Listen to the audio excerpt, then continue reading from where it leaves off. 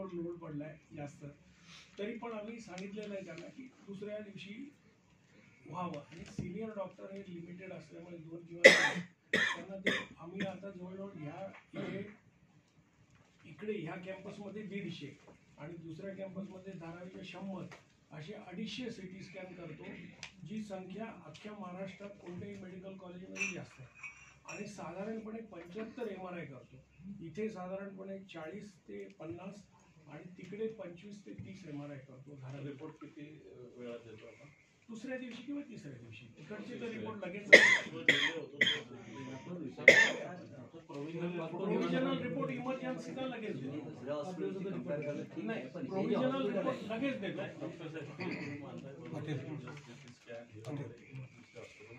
असतं. बिघाड वारंवार होतो. आता मुंबईमध्ये होतो ते बाकीच्या इंटेरियर महाराष्ट्रामध्ये असं असलं तर त्याला म्हणजे बंदचं कारण हे असतं की मुंबईहूनच लोक जातात ते दुरुस्त मुंबईमध्येच असल्यामुळे इमिजिएट तुमचं बिघाड जरी झालं तरी दुरुस्त होतं त्यामुळे तुमचं ते कंटिन्यू चालू असतं. मुद्दा असा आहे की आता Reporting आपण रिपोर्टिंग ताबडतोब प्रोव्हिजनल रिपोर्ट ताबडतोब देण्याचा प्रयत्न करतो. विदिन पंधरा वीस मिनिटात इमर्जन्सीचे आणि हे लवकर देण्याचा प्रयत्न तुम्हाला निश्चितपणे मी देतो. एक करताना ते इतर हॉस्पिटल आणि हॉस्पिटलमध्ये फरक एवढा आहे की या ठिकाणी अनेक म्हणजे तुम्ही लोड म्हणता म्हणजे लोड इथे जास्त आहे. त्याप्रमाणे तुम्हाला प्रोव्हिजन करणं जरा गरजेचं आहे. कारण बाकीच्या ठिकाणी एवढा लोड नाही आहे नाही याला काही स्टाफ कमी आहे. ते काय अडचण आहे? रेडिओलॉजिस्ट आता कसं आहे रेडिओलॉजिस्टचं जे रिक्रुटमेंट आहे रेडिओलॉजिस्ट आणि अॅनास्थेशिओलॉजिस्ट याच्यामध्ये मॅक्झिमम रिकामी राहतात रिपोर्ट उशिरा याचं कारण म्हणजे स्टाफ करण्याचा प्रयत्न करू आपण. एखाद पण दिवसात काय, इथे देण्याचा तुम्हाला प्रयत्न माहिती आहे करू. कुठून कुठून पेशंट येतात. पनवेल पासून Yes. नाही रे, फार. काय नसतं.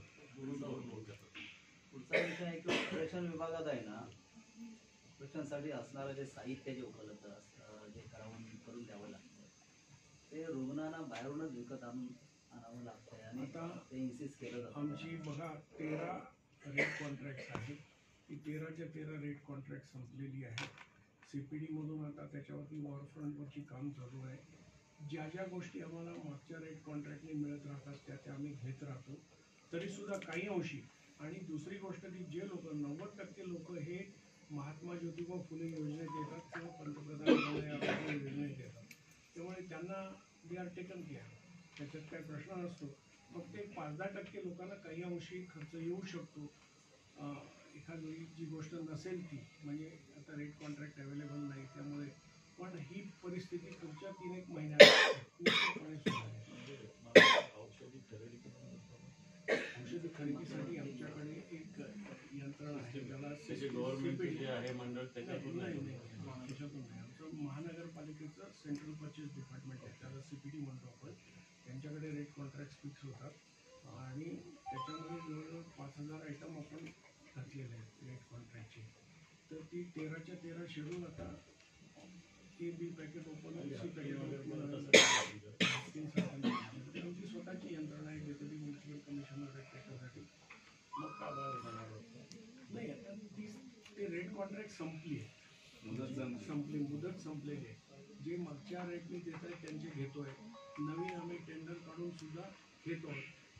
एक आणि महात्मा ज्योतिबा फुले योजना आणि पंतप्रधान जन आरोग्य योजना ज्यांच्याकडे रेशन कार्ड आहे ज्यांच्याकडे आधार कार्ड आहे त्यांना ऑर्डिनरीली काही प्रॉब्लेम येत नाही. थोडासा पाच दहा टक्के लोकांना वस्तू अवेलेबल नाही अशा लोकांना थोडंसं स्पेसिफिक कोणत्या वस्तू नाही?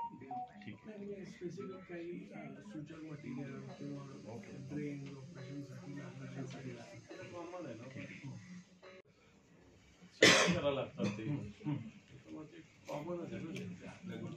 आहे ना आगाऊ आपल्याला माहिती असते ना साहेब इकडे आपल्याकडे चार पाच दिवसापासून कॉन्ट्रास्ट नव्हता. जे सिटी स्कॅन काढतो पोटाचं. कॉन्ट्रास्ट आम्ही टेंडर काढले लोकल टेंडर काढून ते आम्ही घेतलं. सध्या कॉन्ट्रास्टची पंचायती आहे. खूप पंचायत आहे प्लास्टरची पंचायत आहे साहेब. प्लास्टर नाहीये. रोज बाहेर आणायला सर्व पेशंटला आपण आहे. एक एक एक विषय संपून नंतर आपण तो तो विषय साहित्याबद्दलच आहे त्याचा मागच्या मिटिंगला पण हाच प्रश्न उपस्थित होता. सिरियसली याच्याविषयी प्रयत्न चालू आहे आणि आता थोड्या रुग्णांच्या कंप्लेंट एवढ्या आहेत साहेब. मला त्यांनीच दिले उत्तर. दुसरं नगरसेवक नाही आजारी एक आजार आहे. तुम्हाला माहिती असेल ना याचं काय सिस्टम पण तिथे काय आहे सिस्टम बरोबर आहे प्रत्येक डिपार्टमेंट आपलं एकच आहे. तिकडून रेट्स आहे. सगळं परंतु काय ऍडव्हान्समध्ये पण आपल्याला काय साठा असला पाहिजे म्हणजे समजा कमी पडलं भविष्यामध्ये एखादा महिना लेट झालं तर तो पण साठा आपल्याला असला पाहिजे ना तो महिना दोन महिन्याचा तरी.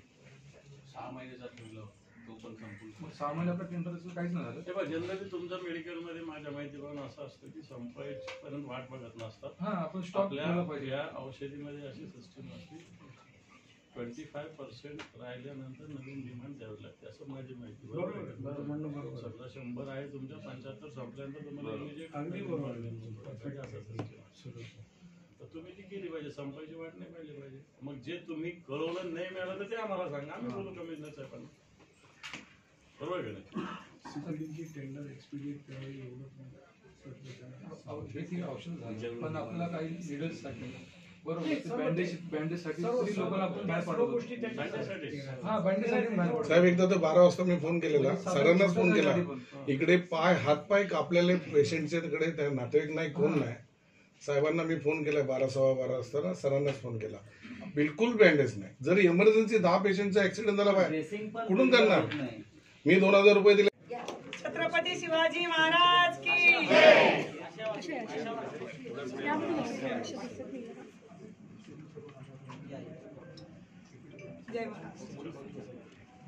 याच्यानंतर आपली छत्रपती शिवाजी महाराज की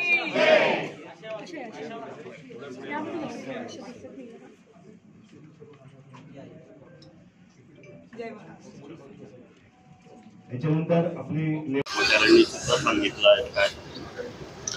मला असं वाटतं मी या रुग्णालयाच्या प्रशासनाच्या सगळ्या अधिकारी डीन साहेबांना भेटायला आलेलो होतो. वेगवेगळे विषय होते प्रशासकीय विषय होते काही थोड्या बहुत तक्रारी होत्या. त्याच्याविषयी मान्य अधिष्ठाता साहेबांशी चर्चा केलेली आहे. बऱ्याचशा विषयावर मार्ग निघेल अशा प्रकारची स्थिती आहे.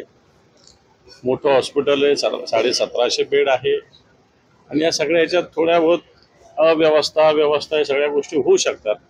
परंतु त्या लवकरात लवकर सुटाव्या या हेतूनं महाविद्यालयाच्या प्रशासनाशी मी चर्चा केलेली आहे. जागा रिक्त आहेत अनेक ठिकाणी जागा रिक्त आहेत.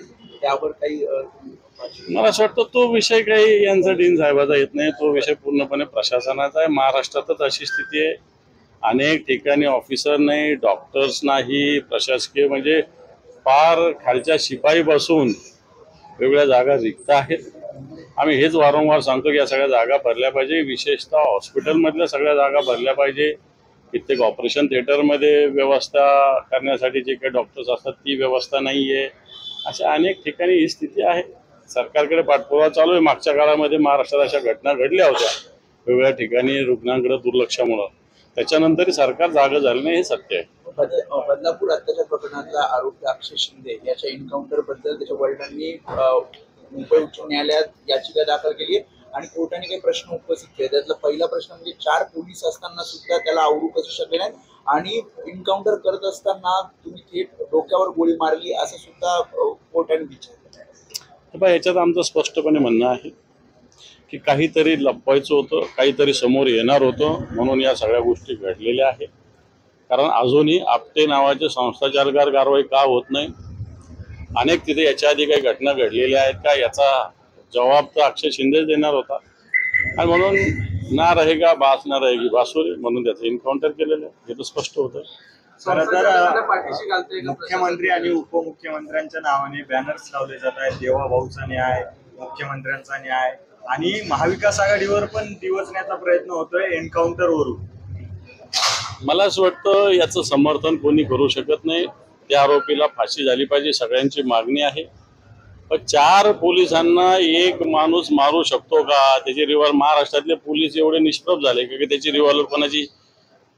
काठीला सुद्धा पोलिसांच्या कोणी हात लावायची हिंमत करू शकत नाही. तो काय रिव्हॉल्वरला हात लावू शकतो का? या सगळ्या गोष्टी बनाव्या हे सगळे सामान्य सामान्य व्यक्ती रिव्हॉल्वर चालू शकतो का? असा प्रश्न थेट कोर्टाने विचारला. बरोबर आहे. माझं तेच म्हणणं की रिव्हॉल्वर गेल्यानंतर रिव्हॉल्वर कोणती आहे? कोणत्या बनावटीची आहे? सोपं नसतं ते काही रिव्हॉल्वर ती लोड आहे गान लोड आहे किती बोरची आहे अनेक विषय त्याच्यामध्ये असतात. सर सर आम्ही सुप्रिया सुळे सुप्रिया सुळे यांनी निधी वाटपावरून हल्ला केला आहे. त्यांचं म्हणणं आहे की जो निधी वाटप आहे तो अं, विरोधी पक्ष नेत्यांना मिळत नाही त्याच्या आमदारांना मिळत नाही. बरोबर आहे. सत्ताधारी पक्षांना मोठी खिरापत वाटली जाते. विरोधी पक्षाच्या आमदारांच्या मतदारसंघात निधी कुठलाही दिलेला जात नाही. विरोधी पक्षाचे आमदार काय महाराष्ट्रात नाही का? विरोधी पक्षाच्या आमदाराच्या मतदारसंघातली जनता टॅक्स भरत नाही का? हा माझा सरकारला प्रश्न आहे. अमित शहा महाराष्ट्र दौऱ्यावर आहेत. ते एका कार्यक्रमात आज बोलले की उद्धव ठाकरेंनी आपल्याला धोका दिलेला आहे आणि येणाऱ्या विधानसभेमध्ये त्यांना आपल्याला धडा शिकवा मला असं वाटतं अमित शहाला मोहम्मद अब्दाली शहा असं उद्धव साहेब बोललेले आहेत. दिल्लीहून अनेक आ- आ- आक्रमण महाराष्ट्रात झाले. महाराष्ट्रातले मराठी माणसांनी ते परतवून लावले. असे अमित शहा पंचवीस वेळेस जरी आले तरी या महाराष्ट्राला काही फरक पडणार नाही. धोकेबाज तर अमित शहा आहे धोकेबाज तर भारतीय जनता पार्टी आहे.